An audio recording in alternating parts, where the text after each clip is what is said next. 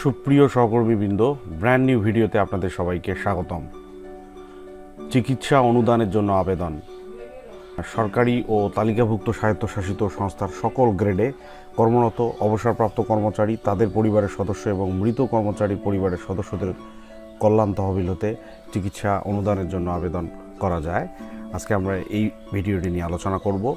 চলুন আমরা ভিডিওটি শুরু করি। নতুন যারা, তারা চ্যানেলটি সাবস্ক্রাইব করুন এবং পাশে থাকা বেল বাটনটি অন করে রাখুন পরবর্তী নোটিফিকেশান জানার জন্য। চিকিৎসা অনুদানের জন্য আবেদন। এই আবেদন করার জন্য কিছু প্রসেস আছে, সেটা আমাদেরকে মেনটেন করতে হয়। আমি প্রথমেই আপনাদের দেখাবো যে এই চিকিৎসা অনুদানের আবেদনের জন্য কি কি কাগজপত্র লাগে। যে চিকিৎসা অনুদানের জন্য যেসব প্রয়োজনীয় কাগজপত্র লাগে, যেসব সংযুক্ত করতে হবে, তার মধ্যে হচ্ছে যে ডাক্তারি ব্যবস্থাপত্রের সত্যায়িত কপি। অফিস প্রধান এবং সংশ্লিষ্ট অফিসের দায়িত্বপ্রাপ্ত কর্মকর্তা কর্তৃক সত্যায়িত হতে হবে। ডাক্তারের যে প্রেসক্রিপশন আছে, সে প্রেসক্রিপশন সব, যত ধরনের প্রেসক্রিপশন আছে, সব প্রেসক্রিপশনের সত্যায়িত কপি লাগবে। এরপরে লাগবে ব্যবস্থাপত্র অনুযায়ী ঔষধ ক্রয়ের যে মূল ভাউচার, যে ব্যবস্থাপত্র অনুযায়ী যে ঔষধগুলো কেনা হয়েছে, সেগুলোর মূল ভাউচারগুলো লাগবে।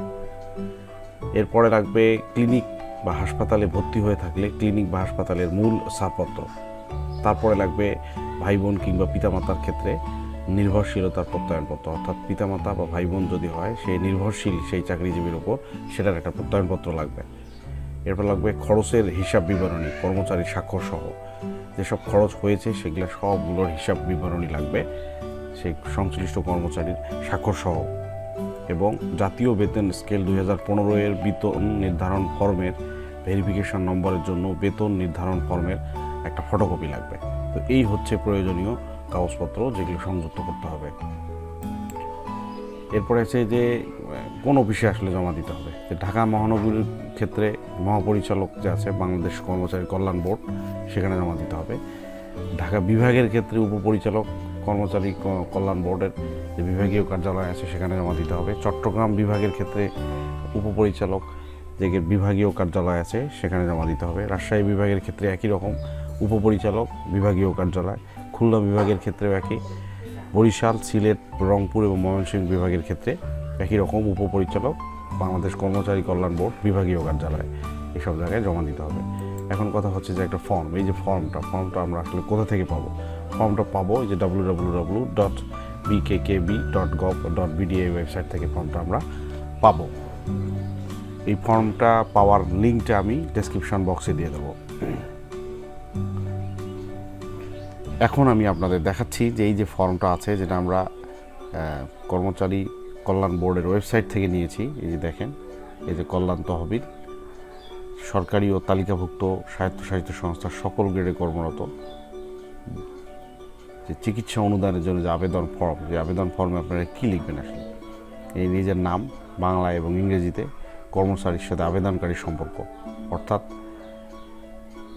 যে আবেদনকারী অ্যাপ্লাই করছে এই সরকারি, তার আসলে কী সম্পর্ক আছে সেটা আপনাকে লিখতে হবে। কর্মচারীর নাম এবং ইংরেজিতে, বাংলা, ইংরেজিতে লিখতে হবে। পিতার নাম, পদবি, ইংরেজিতে বড় হাতের লিখতে হবে, বাংলায় লিখতে হবে। অফিসের নাম বাংলায় এবং ইংরেজিতে লিখতে হবে।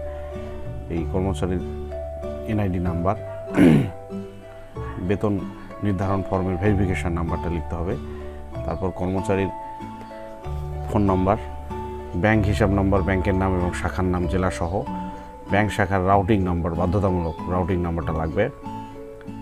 কর্মচারীর জন্ম তারিখ, অবসরের তারিখ বা মৃত্যুর তারিখ, কর্মচারীর রাজস্ব খাতভুক্ত বোর্ডের তালিকাভুক্ত সংস্থার কিনা সেটা লিখতে হবে। রোগের নাম, রোগীর সাথে কর্মচারী বা আবেদনকারী সম্পর্ক, সন্তান প্রসবের ক্ষেত্রে অস্ত্রোপচার হলে কততম অস্ত্রোপচার, ক্লিনিক হাসপাতালে ভর্তি হয়ে থাকলে ক্লিনিক হাসপাতালের নাম, মোট খরচের পরিমাণ। তারপর এখানে কর্মচারীর আবেদন, আবেদনকারীর নাম লিখতে হবে। যদি থিল থাকে সেটা লিখতে হবে। অফিস প্রধানের প্রত্যয়নটা এখানে লিখতে হবে। এই প্রত্যয়ন লিখতে হবে। অফিস প্রধানের সিলটা দিতে হবে।